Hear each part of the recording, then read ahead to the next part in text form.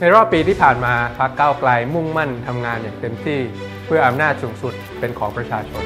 การบริหารงบประมาณเงินกู้1ล้านล้านบาท เต็มไปด้วยข้อผิดพลาด และช่องโหว่การอนุมัติทำได้น้อย การเบิกจ่ายทำได้ช้าพลาดเป้าหมายทำคนไทยทั้งประเทศเสียโอกาส ก็เห็นเห็นกันอยู่ว่าประชาชนขาดวัคซีน ขาดเตียงขาดยา ขาดเครื่องช่วยหายใจ ไม่ได้ขาดกระสุนปืนใหญ่ ไม่ได้ขาดรถถังไม่ได้ขาดรถยานเกราะถามจริงๆครับท่านประธานครับ ไม่ซื้ออาวุธกันสักปีนี้จะชักดิ้นชักงอตายหรือไงที่พูดอย่างนี้นะครับเพราะที่ผ่านมาในยกระทรวงกลาโหมมีการใช้จ่ายงบประมาณที่ไม่โปร่งใสครับหน้าเคลือบแคลงตั้งแต่กางเกงในยันเรือดำน้ำจนทำให้ผมต้องตั้งคำถามกับตัวเองครับว่า ภายใต้ดวงอาทิตย์นี้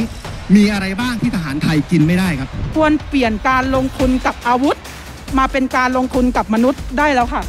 เช่น หากตอนนี้เราลงทุนกับเด็กและเยาวชน เด็กก็จะได้รับสารอาหารครบถ้วน และเติบโตมาอย่างมีคุณภาพ มีวุฒิภาวะทางอารมณ์ ไม่โตมาเป็นผู้ใหญ่แบบพลเอกประยุทธ์จันทร์โอชา ผมอยากให้นายกรัฐมนตรีเอามือถือผมไปใช้สักวันหนึ่งอะแล้วท่านจะรู้เลยว่าปัญหามันหนักแค่ไหน อยากให้สบคเห็นใจบ้าง เป็นหมออะแต่เป็นคนบ้างก็ได้ จะมั่นใจได้อย่างไรครับว่า บริษัทเอกชนที่ชื่อสยามไบโอไซเอนที่เพิ่งได้รับการถ่ายทอดเทคโนโลยี จะสามารถผลิตวัคซีนและส่งมอบตามจำนวนที่ได้วางแผนเอาไว้ มั่นใจได้อย่างไรว่าจะไม่มีปัญหาการผลิตเลย หน่วยงานรับงบประมาณต่างๆ ที่ตั้งงบประมาณค่าใช้จ่ายที่เกี่ยวข้องกับสถาบันพระมหากษัตริย์ ในปีงบประมาณ 65 นี้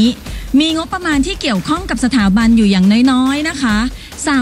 33,712 ล้านบาทถึงเวลาแล้วครับที่สภาแห่งนี้ต้องเลือก ถ้าเราเลือกประเทศให้ประเทศไปต่อได้ ท่านประยุทธ์เป็นสลักแรกที่ต้องถอดออก เพื่อที่จะปลดล็อกประเทศไทยให้เราเดินหน้าไปต่อได้ในอนาคต และเพื่อให้การยืนระยะต่อสู้ในระยะยาวของพวกเราเป็นไปได้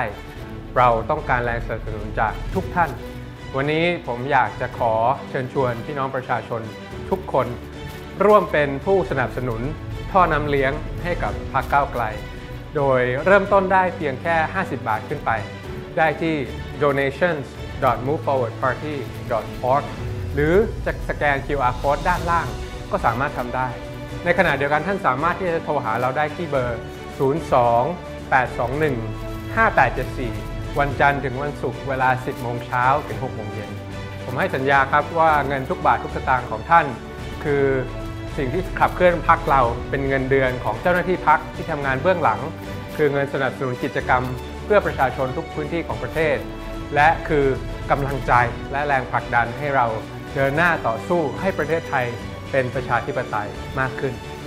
พรรคของเรานะครับไม่มีทุนใหญ่หนุนหลังเรายืนหยัดได้ก็เพราะว่า พลังสนับสนุนจากพ่อแม่พี่น้องประชาชน เราเชื่อว่ามีแต่การต่อสู้เพื่อที่จะเปลี่ยนแปลงโครงสร้างการจัดสรรทรัพยากรของประเทศเท่านั้นครับ ที่จะทำให้ชีวิตคนไทยทั้งประเทศดีขึ้นได้จริงๆ